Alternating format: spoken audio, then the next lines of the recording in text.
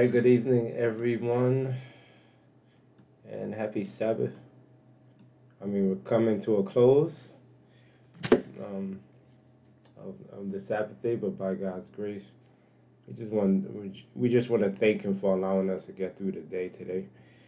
And as always, we'll open up in prayer, and I'm gonna do something I haven't done in a while. I'm just gonna ask if if uh, when our our members that's here in the Zoom, if y'all could open us up in prayer, I'm gonna ask Brother John John, you mind opening us up in prayer? Father, we want to say thank you so very much for another wonderful, beautiful, blessed Sabbath day that is coming to a close, oh Lord. But be with us in this Bible study. Give us wisdom. Give us understanding. Help us to hearken unto you, O Lord. Give us guidance through the Holy Spirit. In Jesus' name I pray. Amen. Amen. Amen.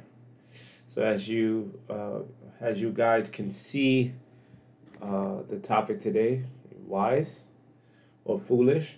This is a very well-known parable within the Bible, but it's prominent today because we're literally in that time we're getting towards, you know, towards the end and we have to we gotta wake up man. Like the lord has been showing showing some things and it's pertaining to people that's actually here in this group that's here in the zoom. So um, um we're gonna have a little heart to heart later and i'm just gonna talk with you guys because there's some people that are not here.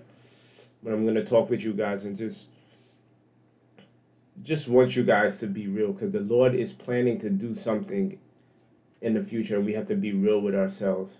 It's literally the the the years are turning into days, the days are turning into hours, and the hours are turning into minutes. Okay, and the the signs of the times are telling us what's what's coming. We'll talk about it in a little bit. Hello to everybody that's on YouTube. I'm going to address something um, pertaining to the people that are in the comments also. Okay, so let's, without further ado, let's begin and let's get into our study. But before we get into our study, I need to address something. So there's an article by uh, Psych Central. It talks about reasons you don't listen. And the reason why we're going to talk about this before we get into the meat of the study is today every a lot of people have a listening problem. Okay? Or an attention problem. And if you happen to be or have any of these issues regarding as to why you think you might not be able to pay attention at certain times, just be honest with yourself, okay? Because I'm on here. I, I'm, I'm one of the people with supreme ADD, right? Reasons you don't listen. I hear some of the listed reasons. You have you have the urge to tell your story. So that's a form of selfishness. Even though somebody may be speaking about something, you you want to be able to get your side of the story out. Okay? That's you. If that's you, be honest. Okay? How about you want to give advice? I mean, it doesn't sound too bad. But again, we're talking about people who have a listening problem. Or you just want everything to be okay. Maybe it's a situation between you and some a significant other, a friend, or maybe even a stranger, and you want things to settle down. So by by in in by just wanting everything to be okay, you kind of try to close the the situation out real well quickly because you just want it to be done with. You react emotionally. How many of how many people are here who do the same thing? Okay? Remember the flesh, man. The flesh. We need to get to the point where the spirit is reacting before the flesh. And a lot of us, a lot of the times, the flesh rises up first before the, the spirit can even communicate with us. That's why the Bible tells us to be quick to listen, you know, slow to speak and quick to listen. Very important. You're bored. you're bored. Maybe whatever the person is speaking about, you have no interest in. So you don't even care to listen, no matter how much. How many people have been in a situation where they're talking to someone, and you literally don't hear anything they're saying. You just you daydream, or you're you're looking at them, but you're not hearing them. I've been there. All right, or you're distracted. I think that's everyone here. How about this? How about you think you know what people are thinking? How about that? I think that's a lot of people in here. We have the ability we, we think we have the ability of God to read a person's heart or their mind. Okay, and that's the dangerous thing. You know, especially if you get in an argument with somebody, the Bible says, "Don't let the sun go down on your wrath." At least the enemy have have his way with you. So whatever the situation is, deal with it right then and there. Okay? Or you rather socialize with others. Maybe that person's not a part of your group. So why am I bringing this to everybody's attention? Because the Lord has been convicting me about something um, pertaining to people who speak in the in the chats. Okay? And it's not everybody. But I want I want people to pay attention to this. There's many times when studies are being given and there's full-fledged conversations going on that have nothing to do with the study at all. And I know many people are guilty of this. So the Lord has brought it to my attention to address it to everyone, whether it be in this study or whether it be in uh, another person's study. We're all guilty of doing it, okay? Myself included. But as we're getting towards the end, God is using his vessels, okay, his people, because God uses the word to speak to people, but he also uses other people who are speaking the word. And many of the times, while a message is being given in the chats, in the rooms, everybody is having a conversation about things that are not even related to the topic or discussion that's being presented. And I want to encourage everyone to just stop. If what you're talking about doesn't have anything to do with the presentation, just don't talk about it because you can miss vital messages from God that He's probably trying to communicate to you.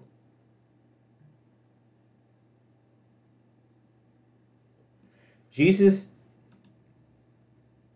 says in in John 8:43 Why do you not understand my speech even because you cannot hear my word the, the, the best example of this is through the scriptures in which Christ is constantly telling his disciples what's going to happen. Listen, I'm going to die on the cross. I'm going to die. I'm going to die. On this day, the Son of Man is going to be delivered up. But they could not, they weren't listening. They had a listening problem. Okay, they had a listening problem. Christ specifically told them what was going to happen. but they had a listening problem. Did Christ not tell us was how the world is going to end, how it's going to happen? Did he not give us, you know, scriptures? Did he not give us prophecy as to tell us what's coming? He gave, he made it plain and clear, but yet there's a lot of people who do not understand his speech. And you want to know how I know a lot of people don't understand his speech? It's because you show it in your actions.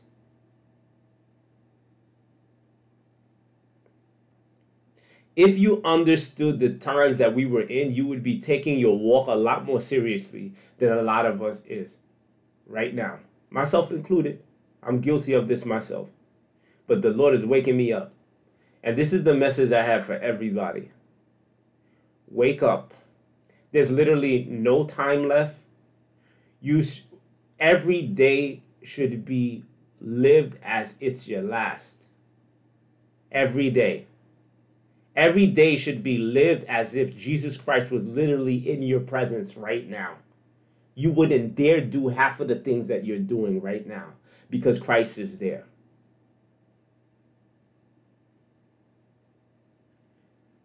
Proverbs says, Proverbs chapter 1, verse 5 says, A wise man will hear and will increase learning, and a man of understanding shall attain unto wise counsels. See, we're speaking about the foolish and, and we speaking about the wise. The wise listen to the words of God. And the words change them. They didn't just hear it and it went through one ear and it went out the other. The words changed them. They conformed, they they they were molded into the image of Christ. Doctrines does not save. I don't care how much you know in the Bible, it will not save you. The foolish and the wise, they knew Bible truth. But unfortunately, five were lost. They were lost. Solomon, the man of wisdom, again, once again says, A fool have no delight in understanding, but that his heart may discover itself. Every single day, we should be looking for things that are within our characters. Ask God to search the heart, to try you to see if there's what any wicked thing that's inside you to remove it. Because the only thing we can take to heaven is our characters nothing else. The body's destroyed this world is going to be destroyed. The only thing you can take with you into the kingdom is your character.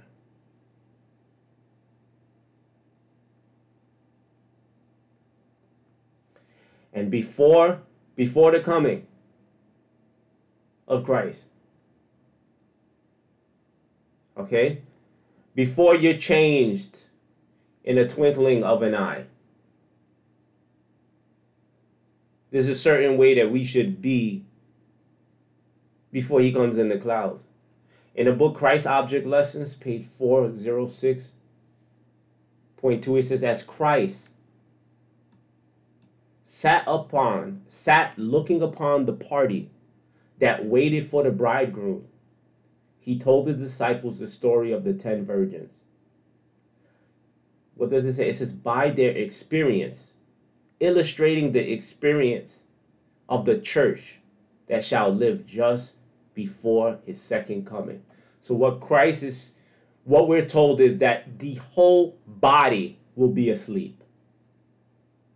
The five foolish was asleep, the five wise was asleep.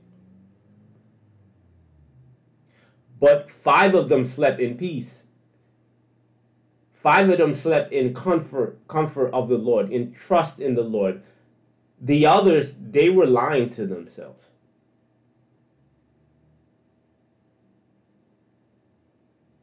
What's going on right now? What's going what is the time? What are what is the time that we're in right now? One of the pioneers to the the Seventh Day Adventist Church named Uriah Smith, speaking on a parable of the, the, the, the, ten virgins, he goes on to say, No one can pronounce ready till his case has been exa- examined to see whether or not he is ready. So nobody right now can sit here confidently and say, I'm good to go. Oh, as soon as it happened, yeah, I'm good. I'm re-. nobody. Daniel, when speaking, always associated himself with the sinners. Bible says our righteousness are as filthy rags. Nobody should have confidence to, to the point in themselves that they're there. Your confidence should only be in Jesus Christ. It goes on to read, after the bridegroom has come to the marriage, the king must come in to see the guests, to see whether all have on their wedding garments or not. What are you wearing? What is this period of examination? It is the period of the investigative judgment in the sanctuary above. We just we just went on a little light and we spoke about the sanctuary. Unfortunately, there's a lot of people who do not believe in this message. They just don't. And it's Satan's objective to blind people from seeing that God Christ is doing an investigative work. And throughout the scriptures, you clearly see that this is consistent. God does not destroy without investigating first. In Sodom and Gomorrah, the Bible says that Christ said, Let us come down and see what they're doing. What were the people in Sodom and Gomorrah? The Bible says, Let us come down. That's an investigation. Let's see what they're doing.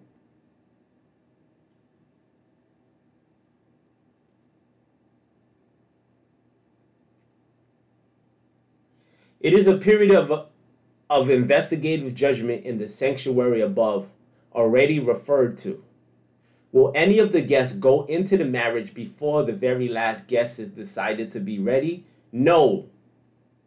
Why? By no means. And when will that be? When the ministration in the most holy place of the sanctuary is finished and every case is decided. So it's, it's one person not going before the other. We go as a group. So when does the marriage take place? Or in other words, when does Christ receive his kingdom? When he has finished his work as a priest in the heavenly sanctuary. For those who you who are new on the stream and kind of confused, go watch the little light videos. We broke down the sanctuary, everything that took place in the past regarding the sanctuary is repeating itself right now in heaven. Christ did not stop, he did not stop at the cross. It was significant. Yes, we understand, but he did not stop at the cross. And those who have the veils over their eyes and do not push themselves to have an understanding of the sanctuary will be blinded during this investigative. You're going to be blindsided and you won't have nobody else to blame but yourself. It boggles me how we can sit there and preach straight scripture, yet people still don't see it. And it's because the God of this world keeps blinding them.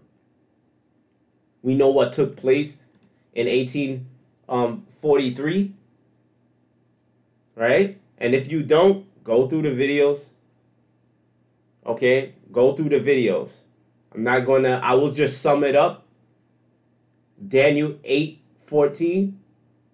And he said unto me, until 2,300 days, then the, shall the sanctuary be cleansed. What sanctuary was Christ talking about in Daniel 8 14?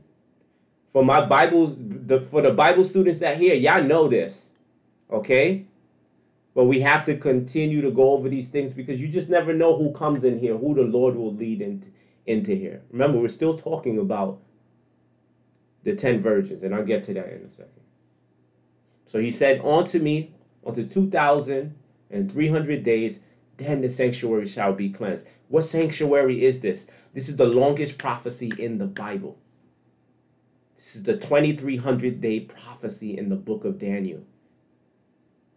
History and the Bible are interchangeable. They're, they're, they're, I say interchangeable. They're one and the same. That 2300 days, the start of judgment, 1844. I showed you 1843, but we know that calculation shows that um, there was no zero. So we got 1844 that's the date that was the start of the judgment the investigated judgment. So from 1844 to present day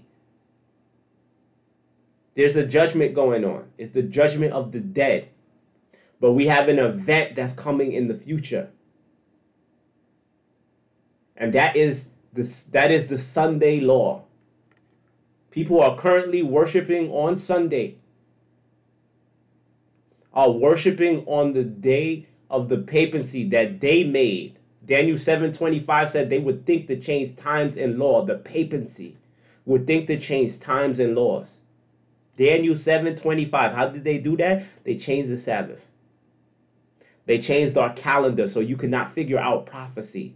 They hired Jesuits to go undercover and push an agenda. If you haven't seen the Great Controversy series, we spoke about the Jesuits, how they presented the the the seven weeks and they pushed it into the future, or the 70 weeks, they pushed it into the future so people could not identify the Antichrist as being the papacy.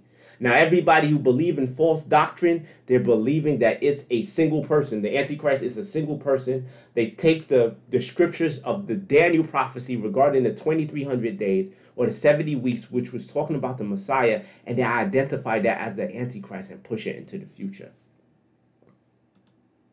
I shared I shared an um an article with the study group Okay, I'll just pull that up. Brothers and sisters, if you do not understand what's coming, you will know within a few days. If you do not understand what's coming and how quick this is coming, you will be blindsided. This article says that the Supreme Court, which are run by, again, we spoke about this in a Great Controversy series, which we're going to continue next week. The Supreme Court has about six to seven Roman Catholic judges sitting in the Supreme Court, and they're already pushing to end separation of church and state. What does that mean? They want the church to control the government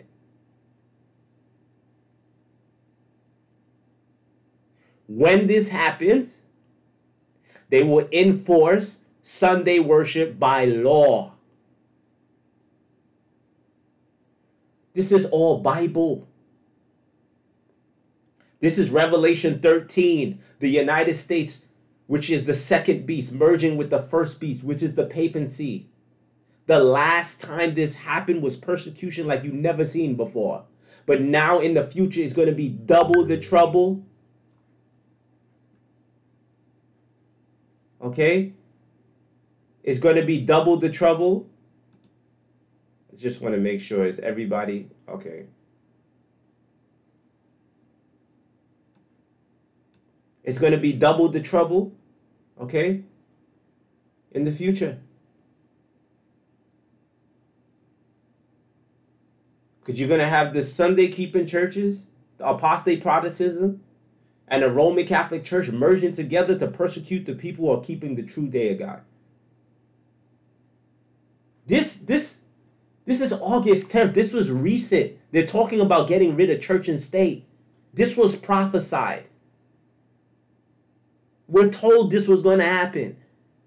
And it's coming sooner than anybody can ex- can expect. Are you still sleeping? Many of us are still sleeping. You want to know why?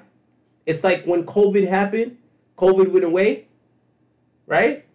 And everybody's thinking things are going to get back to normal. No, no. We're talking about labor pains. This stuff is going to increase all the way to the end.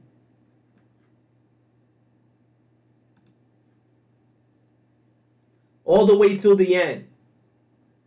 The 1260 years was the day it was the dark ages. It was persecution like you never seen before. This is coming back. Bible says men's hearts are failing them for fear, looking upon the things that's coming on the earth. People are going to be scared. And you don't have you don't there's no reason to be scared because if you know prophecy, you know that the Bible says that these things are going to happen. But because people don't listen, and people don't pay attention and they allow the enemy to distract them, they fall victim to the time when it approaches.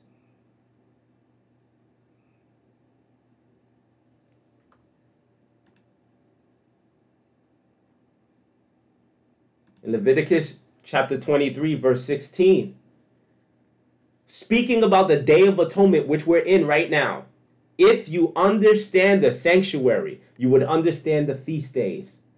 You would understand that one of the feast days was the Day of Atonement, was one of the last feast days at the end of the year. What were the people supposed to do? The Bible tells you, Leviticus 23 16, also on the tenth day of the seventh month, there shall be a day of atonement. It shall be a holy convocation unto you, and ye shall afflict your souls. What are we supposed to be doing right now? Investigating ourselves. It's not only Jesus investigating us, we should be investigating ourselves to see our faults and what needs to be changed because there is no more time left. Give it all up because J- Jesus gave everything for us at the cross. You don't want to fall into the category of verse 29 in Leviticus 23, where it says, For whatsoever soul it be, soul, a person, it be that shall not afflict in that same day, in the antitypical day right now. If you are not afflicting your soul right now, the Bible says he shall be cut off from among his people.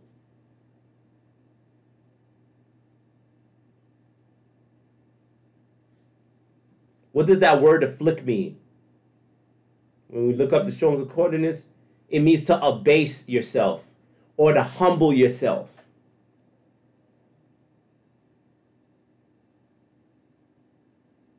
It means to humble yourself, to abase yourself.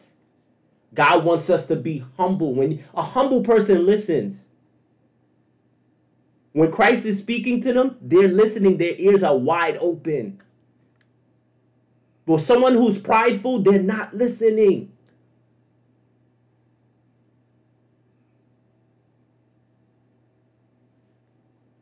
In 1 Peter chapter 5 verse 6, the Bible says, "Humble yourself therefore in in humble yourself therefore under the mighty hand of God that he may exalt you in due time." In other words, afflict yourselves. Afflict yourselves Therefore, under the mighty hand of God, that he may exalt you in due time. Where does Christ want to exalt us? Revelation 30, um, Revelation 3, verse 21 to him that overcometh. We are fighting a battle right now.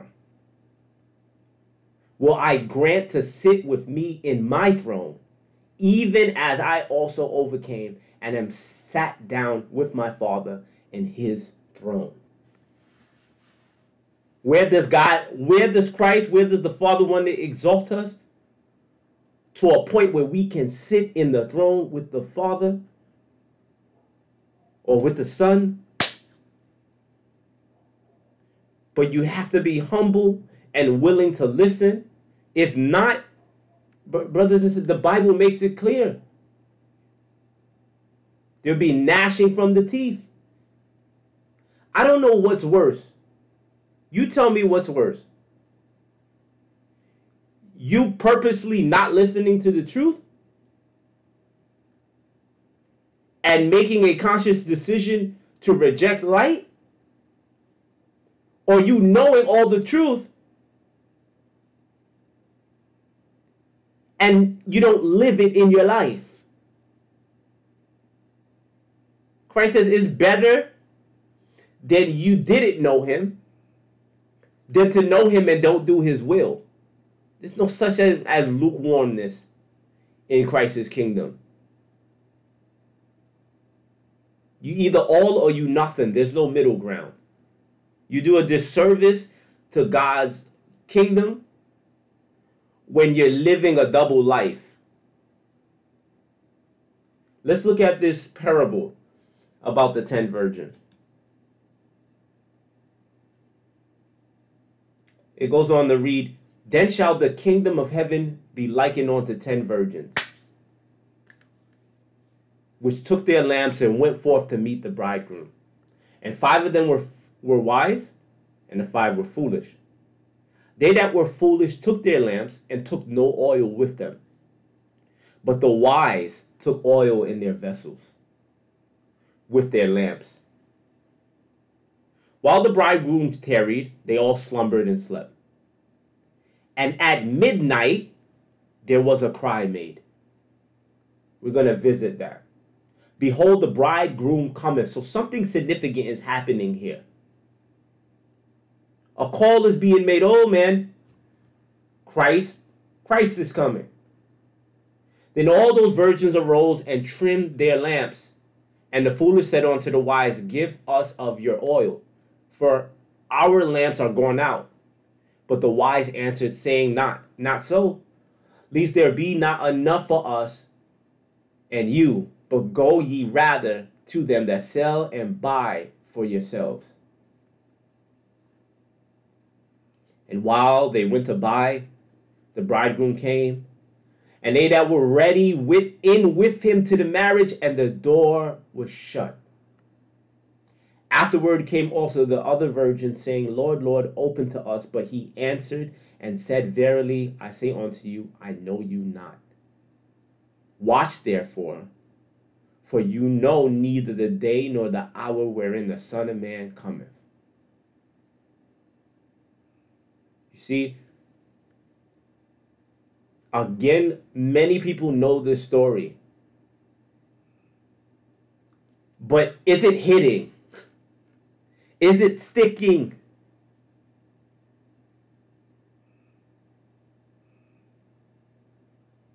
Is it sticking?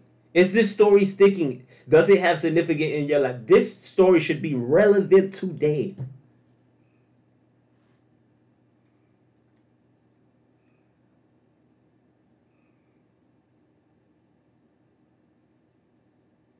Are your vessels filled with oil?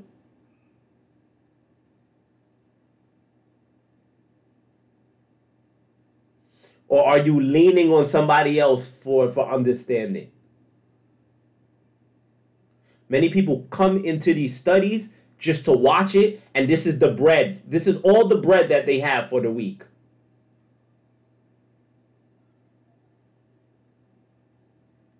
Too many people are dependent on these studies. Make sure that you're doing your work and you're studying and you're learning about Christ on your own. Do not wait until a study or somebody goes live.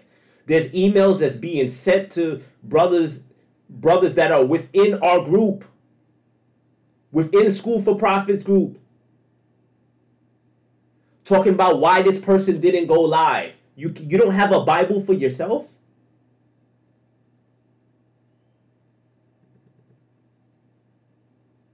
Is is are, are we supposed to be the only person that's supposed to teach you? The Bible says study to show yourself approved. Your own self. Open your own Bible. Read your Bible. If one of us does not go live, go live, it's for a reason. And with that said, you should have your personal time with God right then and there. You know the clock is ticking right now. The clock is ticking right now. Matthew 25, 6. Let's go back to that verse. It said, At midnight there was a cry made, Behold, the bridegroom cometh, go ye out and meet him. Was it late?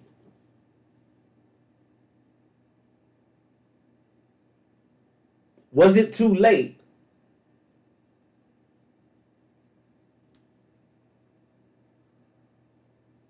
Was it too late? That's what I'm asking. Was it too late? When the cry was made, was it too late? Looking at the story revolved around Exodus.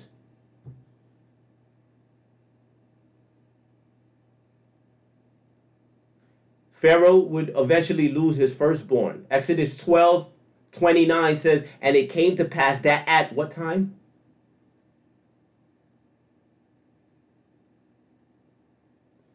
What time? Was it too late? What time does Jesus come? At midnight, the darkest hour. What time did Christ come in the days of Moses to smite the firstborn of Pharaoh? Midnight. Who did it? The Lord smote all the firstborn in the land of Egypt. Was it too late?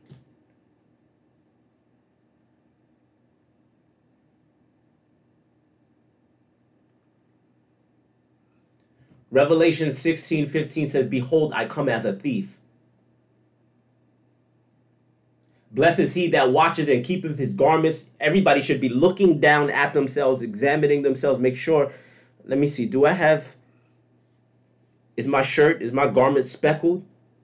I have a taint, a sin. This is something that I need to work on. Lord, give me the strength. I can't do it by myself.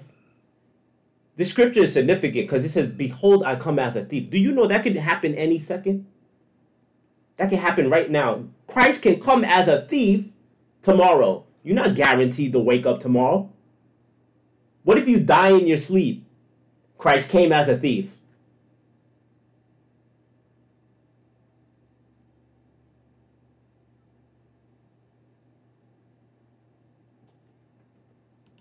Pen and Inspiration says in the Desire Ages, my favorite book of all time. All who confess Christ must have Christ abiding in them. They cannot communicate that which they have not received. In other words, you cannot teach something to somebody that Christ ain't teach you. And the only way to learn is by reading the Word of God.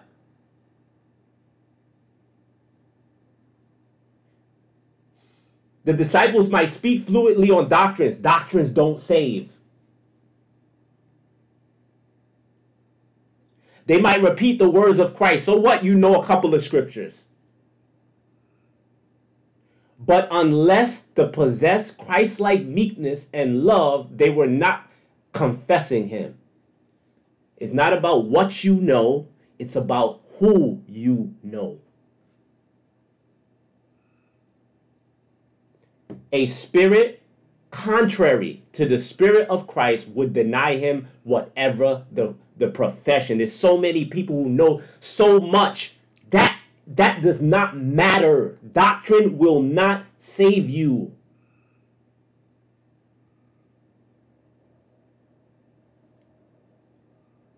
People may deny Christ by evil speaking, by foolish talking, by words that are untruthful or unkind. Think about that the next time you open your mouth. They may deny him by shunning life's burden. God gives you a job to do. You don't want to do it because it's too hard. You deny Christ. They may deny him by conforming to the world. That's obvious. By uncautious behavior, by the love of their own opinions. Mercy. Do you know you can make your own opinions an idol? How about this? By justifying self.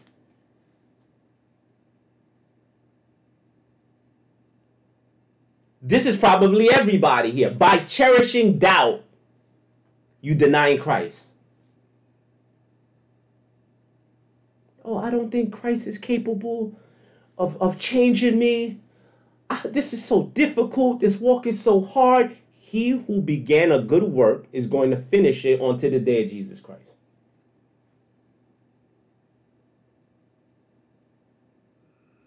In all these ways, they declare Christ is not in them. Think about this, brothers and sisters. Think about this. There's too many people in the world who have a form of godliness, not even just the world. There's people who are in the church who have a form of godliness, but they're denying the power of.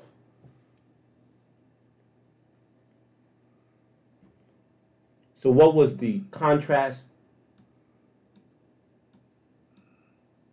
What was the contrast between these two classes? Because these are two classes that going to be here to the very end. Christ said, Let the wheat and the tares grow together until the harvest. Ten virgins. Let's look at the, the let's compare and contrast. The five wise, they waited for the to meet the bridegroom so did the foolish. Five wise had had lamps, foolish had lamps. So they, they pretty much they looking alike. But here's where we take a shift. The five wise they took oil in their vessels with their lamps. The foolish, they had no oil in their vessels. Or if they did have oil, they eventually ran out. The five wise, they fell asleep waiting on a bridegroom. So did the foolish. See? You could sleep. You could go to sleep. Just make sure you're sleeping in Christ. The five wise, they trimmed their lamps. So did the foolish. But what happened? Okay? What about the five wise? What happened when the bridegroom called? They were prepared and were full of the Holy Spirit and were ready to meet the bridegroom. But the foolish, not so. They were unprepared. In fact, they missed the bridegroom.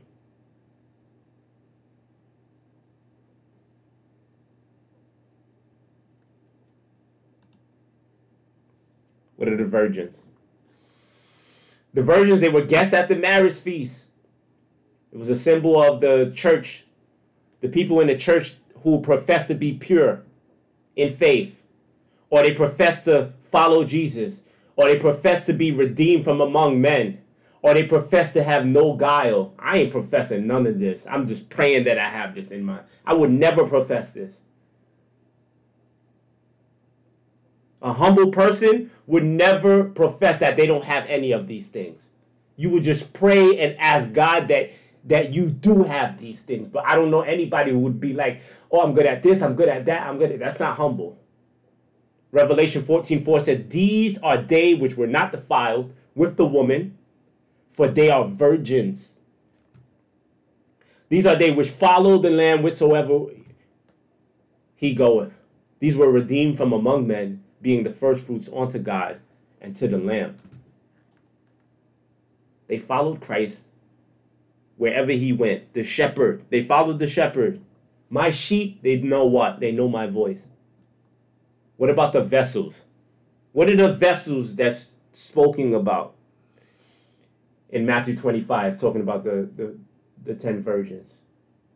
Know ye not that you are the temple of God?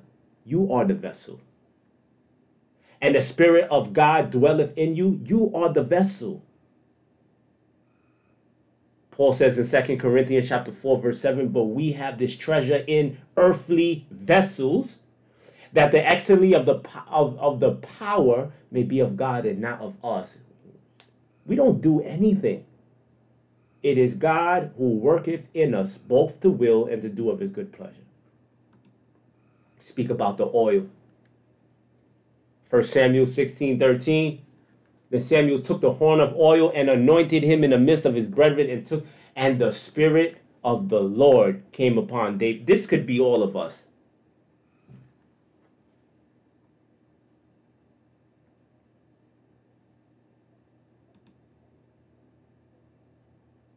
Then we have the lamp, well known scripture. Thy word is a lamp unto my feet and a light unto my path. The Word of God. The lamp was, in fact, the Word of God. Can you imagine having the Word of God in your hand? Because this is a lot of people that's in the church. A lot of the people who are even in the false churches, they have the Word of God, yet it holds no power.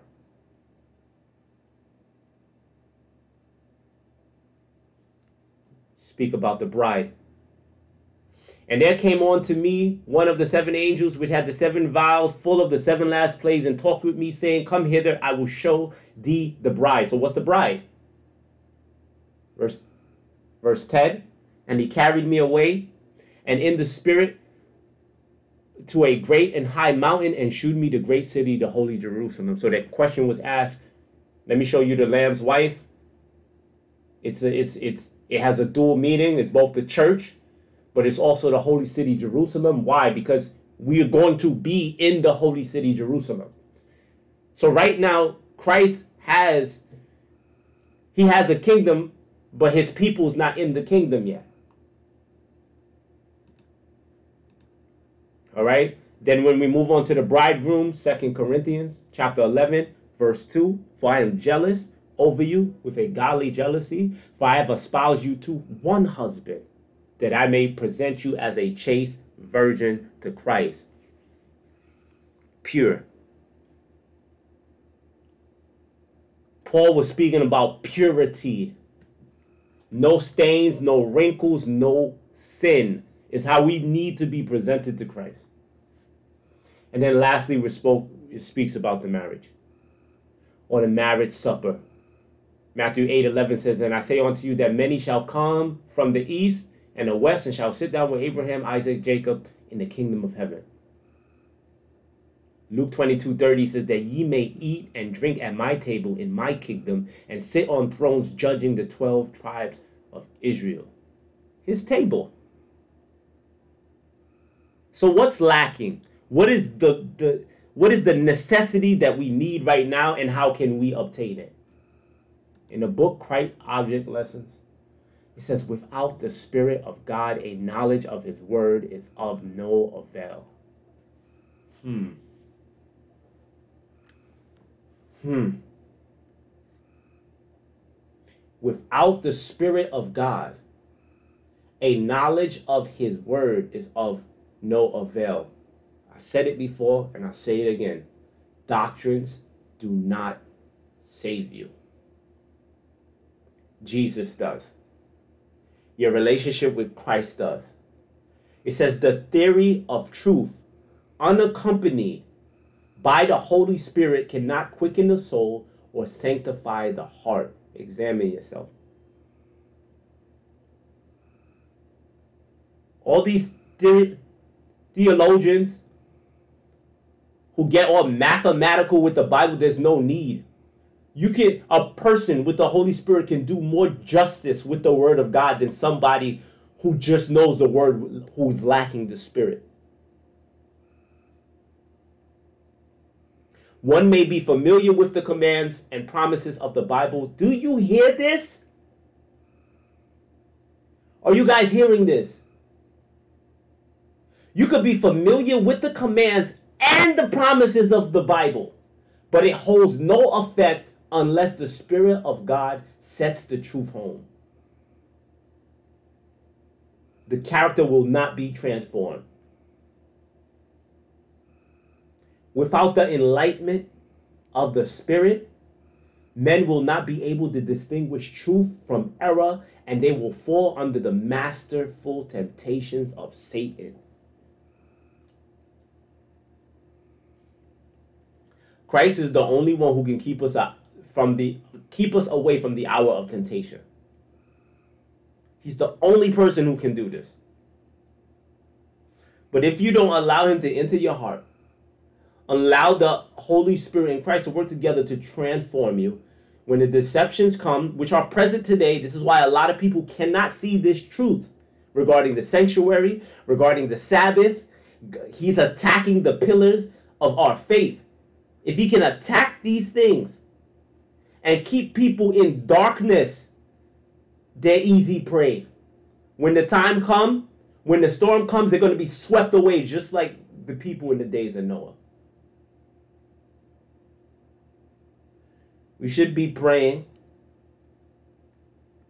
as the psalmist did in, uh, in, in Psalms 51, verse 11 Cast me not away from thy presence, and take not thy Holy Spirit from me. This is significant. This is a prayer that we should be praying to, to, to, to God. In Jesus' name, Lord, do not, please don't remove my spirit. Don't, re- don't remove your spirit from me. We've seen what happened in Genesis 6 when God said that my spirit shall not always strive with men because the thoughts of men are evil continually. I want you to understand this. What led to the flood? The Bible says the thoughts of men were evil continually. They weren't necessarily doing evil, they were just thinking it. They were just thinking it. God said the thoughts of men were evil continually. They weren't necessarily acting it out, they were just thinking it. And that shows you how powerful the mind is. And just thinking it is just as bad as acting it out. In God's eyes, you're doing it.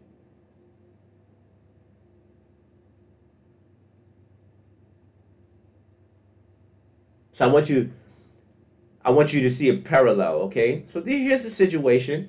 You got people running to they're late to a cruise ship. Let's just look at this. It's just like with airplanes. The second it leaves the gate, it is not coming back for you. These two different sets of passengers on two different cruises in Nassau, Bahamas don't seem to know that and start running and shouting after the ships. Shouting. Oh my gosh. Mr. Reese, you had to get here sooner.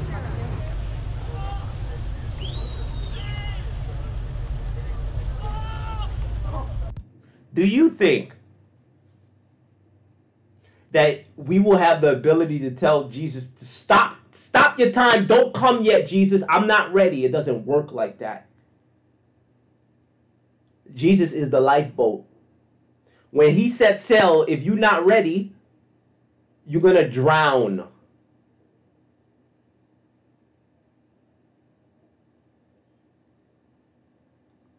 The Bible says, He that is unjust, let him be unjust still. And he which is filthy, let him be filthy still. He that is righteous, let him be righteous still. And he that is holy, let him be holy still.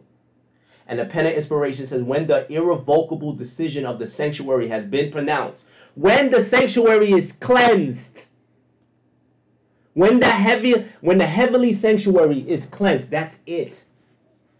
He that's unjust is going to be unjust still. He that is righteous is going to be righteous still. You're stuck that way. When the irrevocable decision of the sanctuary has been pronounced in the heavens of the above, when Michael stands up, that's it. It says, and the destiny of the world has been forever fixed. The inhabitants of the earth will know it not. The forms of religion will be continued by a people from whom the Spirit of God has been finally withdrawn.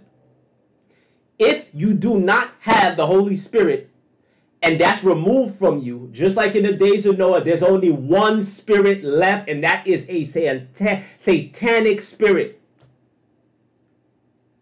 All you're going to know how to do is wrong. The forms of religion will be continued by a people from whom the Spirit of God has been finally withdrawn, and the satanic zeal with which the Prince of Evil will inspire them for accomplishments of his, his designs and will bear symptoms of the zeal for God. So they will have a zeal, but their zeal will be for the enemy. When God removes the spirit, people don't even understand. Like, y'all don't like people don't get it. It's only by the grace of God that this world that this world is not in chaos. How much more time can Jesus give, give us? How, how much more time? He can't.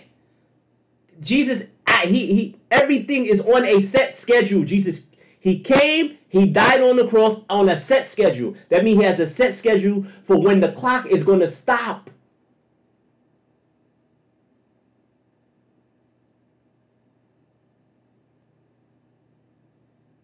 Matthew 25, verse 10 says, And while they went to buy, the bridegroom came, and they that were ready went in with him to the marriage, and the door was shut.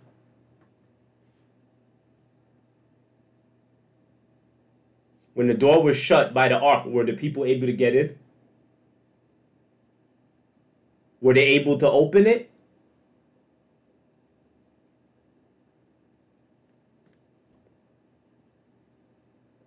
Speaking about the days of Noah,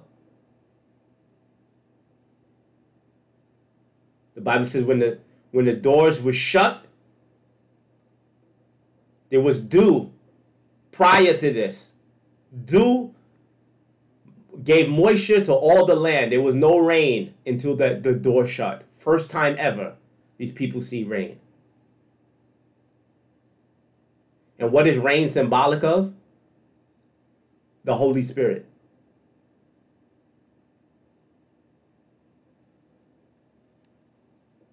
And here we have rain falling all around them, yet they're still not either they're, they're not able to discern the time that they're in.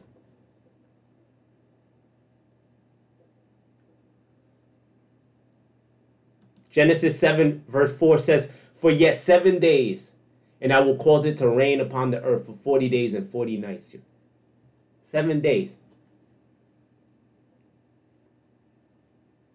When Christ cleanses that sanctuary and probation closes, people are going to be going about their lives for seven days, not even knowing that they're lost.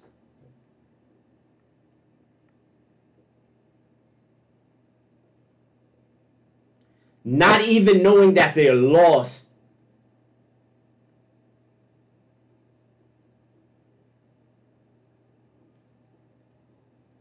Why? Because their concern was elsewhere. They got distracted. They didn't want to listen. We kept warning them. Christ keeps warning us. Matthew 24, 38 says, For as in the days of Noah, before the flood, they were eating and drinking, marrying, giving in marriage until the day that Noah, Noah entered into the ark. This is what they were doing. They occupied them themselves with things that were was irrelevant to their salvation.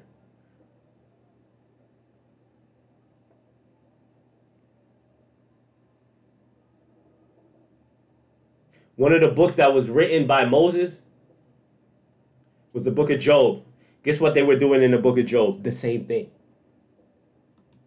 Job 113 says, And there was a day when the sons and his daughters were eating and drinking in their eldest brother's house, and what happened? And the Sabaeans fell upon them and took them away.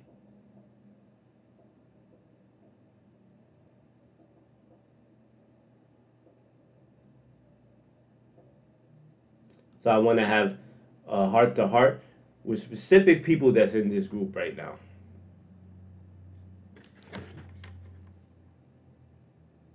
With the people that's in this Zoom meeting right now.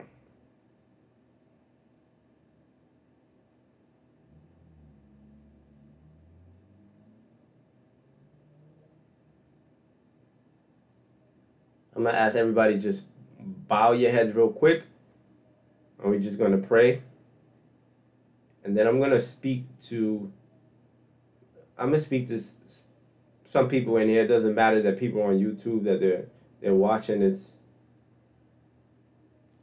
it's all right. Let's pray. Uh, dear kind, dear kind and righteous Father, Lord, um, we just want to thank you for um, this close of Sabbath, Lord, and just allowing this day to be a blessing. Lord, I pray that you use me as a vessel and allow the words to come out of my mouth, not to be mine, but yours. In Jesus' name I pray. Amen. So there are people here in this group. So if y'all don't know this by now, God had set up the meet for me, Brother Tiller, Brother Darius, all of us to meet together. It was all God. He set up for us to go Tennessee, drive all over, meet all these people, Little Light Studios, um, Pastor Ivor Myers, Dr. O. God set all that up because he's something big is coming. He needs to warn his people. This is why this whole second coming documentary is in the process. But something was supposed to happen when we met. God was supposed to do something, but he couldn't do it. And you want to know why he couldn't do it? Because he said we weren't ready. And the we was not pertaining to just me, brother Darius, and Tilla. The we was pertaining to people that's in this group here that God is going to eventually put together. So there are people in this group right now who will be with us together. Okay? God is going to set up a way for all of us to come together and to work together when this time comes to preach the gospel. But he says that many of us that are here, myself included, are not ready. So, what does that mean? I don't know specifically who he's talking about, so I have to address everybody.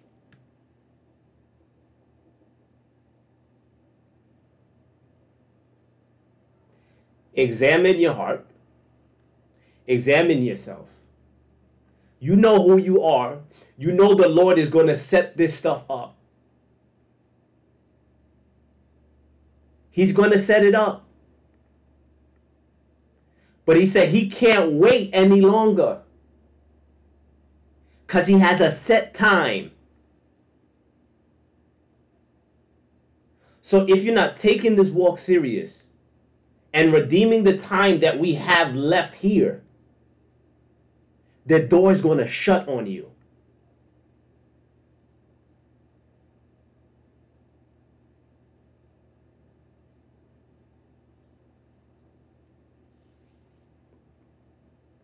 The door is going to shut on you.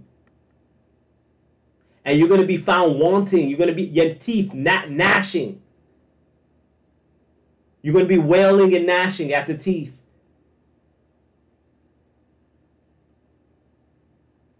Don't don't come to the, the wedding feast late. Because Christ is going to close that door on you. And he's going to say, I never knew you. No matter how much you knew up to the up to that point. He's going to say, I never knew you. And this goes to every single person that's in, in here that's watching right now. When I tell you guys that there's literally no more time left. I don't know how many times I get on here, I keep saying it over and over and over again. There's no more time left.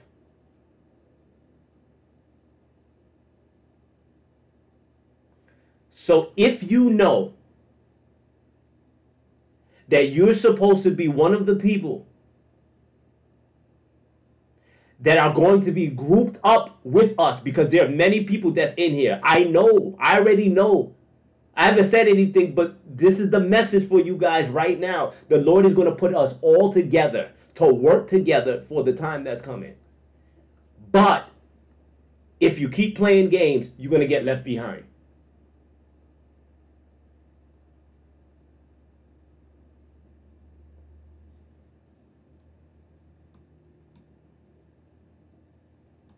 Want you to examine this.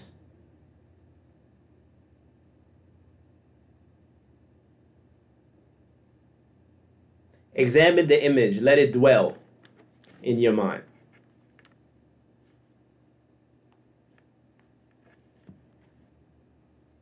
Let it dwell in your mind.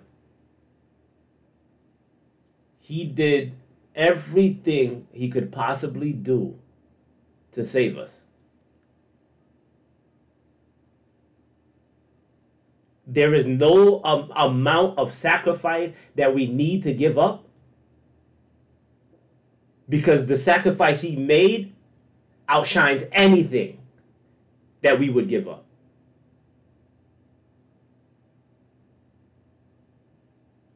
Christ is so merciful. God is so merciful that he's giving, he's warning us with his word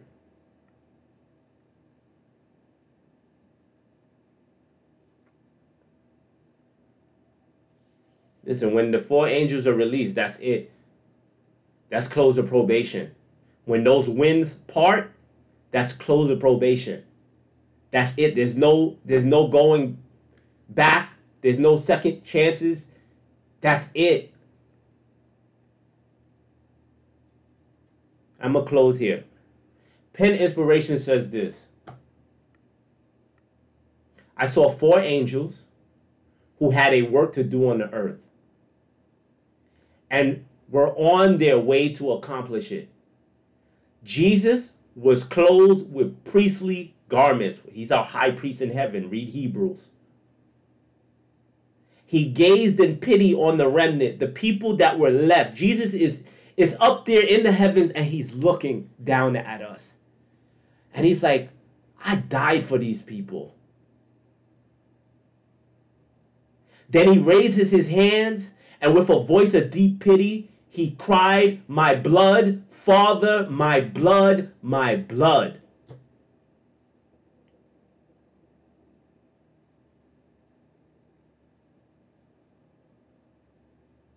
The father's like, I listen, we gotta we gotta set schedule, we gotta be on time.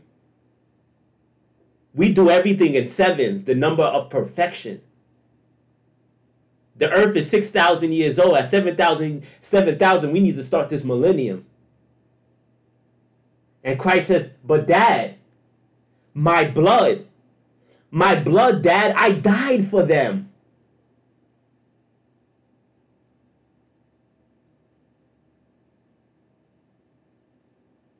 It says, Then I saw an exceeding bright light come from God who sat upon the throne, the great white throne, and was shed all about Jesus. And I saw an angel fly with a commission from Jesus, swiftly flying to the four angels who had a work to do in the earth and waving something up and down in his hand and crying with a loud voice, Hold, hold, hold until the servants of God are sealed in their foreheads. Even before the close of probation, Christ is using every bit of opportunity to seal each and every one of us. But what are we doing with the time? What are we doing with the time that Christ is giving us?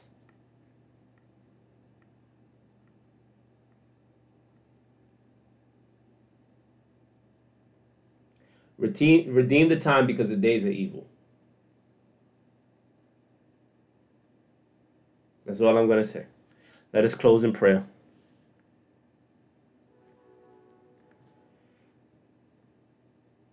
Our Father which art in heaven, Lord, as always, we must give you thanks and praise. Lord, you, you're the one who presented this message. Help this not to go in one ear and out the other, but for us to consume it the same way we would consume your words. Allow this to reach the hearts of many, the new people, the, the people who are reoccurring here. Lord, open their their hearts and open their minds to understand that we are living in the last days and you are soon coming. But before you come, there's a huge test that we have to pass. And the only way we can pass it is with your help. So, Lord, as we cling onto your hand, as you sit upon that throne, Lord, do not let us go.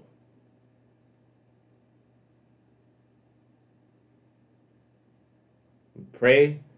We are asking for forgiveness of our sins, Lord. Help us to fight this battle, Lord.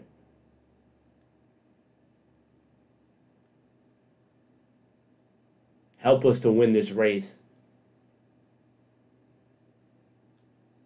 We ask all these things. In Jesus' name we pray. Amen. All right. We're gonna we're gonna close here. Um, by God's grace, we'll see if we can continue with the youth studies next Thursday. I know it's been two weeks. Obviously, we were in um, we were in Tennessee, in Alabama, uh, but we're trying to get back on schedule. A lot of editing to do, um, but God willing, He's going to get us through. As that you keep me in prayers, I'll, I'll keep everybody in prayer. This specific group, there's a group of people here. I'm telling you guys, God is saying like you have to take your take. I I would say everybody that's in this Zoom chat right now, take your walk serious. take your walk serious. Starting now on, take it serious. Like, don't just go back into those same ways. Take your walk serious.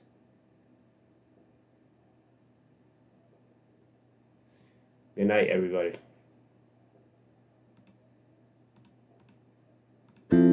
Tis so sweet to trust in Jesus, just to take Him at His word.